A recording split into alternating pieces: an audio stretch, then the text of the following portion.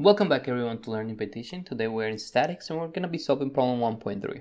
It says represent each of the following combinations of units in the correct SI form and then we got problem A, B, and C. Okay, so basically the way that we're going to solve this is the same, this is basically the same problems as, as 1.2 which I'm gonna link the video up so you can uh, down below so you can uh, also help yourself with it but basically what we're doing is utilizing this table table 1.3 and we're going to look into these prefixes and then we're gonna equal, equal them to their exponential form and at the end we're gonna change from our exponential form back to our prefix and you will see how we can simplify to their correct form as they are stated in the problem.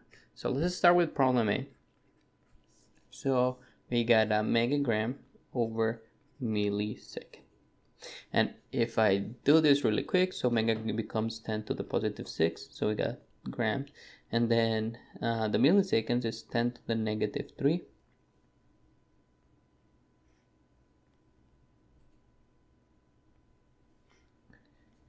in seconds and then we're if we simplify this fractioning here basically what we have is 10 to the positive 9 grams per second.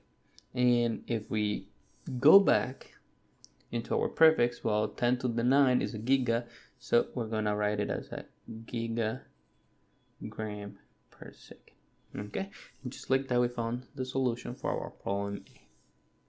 I'm gonna go ahead with problem B. We have Newton over millimeter and then the Newton doesn't have a prefix so it stays as Newton over the millimeter so the milli is 10 to the negative 3 then meters.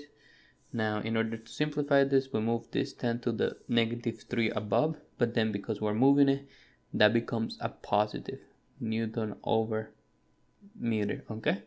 And finally we go back and put in our prefix form and that becomes a kilo newton per meter. And that will be the solution for problem B so we're gonna go ahead and do problem C. We got a millinewton over a kilogram times a microsecond. Okay so for a millinewton we got 10 to the negative 3 so newton over kilogram. Now notice that I'm leaving the kilogram as kilogram. Kilogram sometimes we like to leave them as kilogram as the base unit.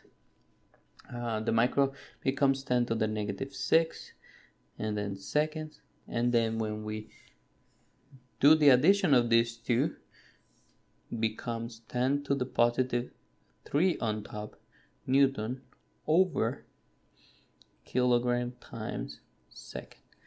And again we're gonna put it back into our prefix form. 10 to the positive 3 is a kilo so we got a kilo newton over kilogram times second just like that, we found the solution for our problem C as well. So I hope you guys liked this video. Please push the like button, subscribe, and I'll see you guys in the next one.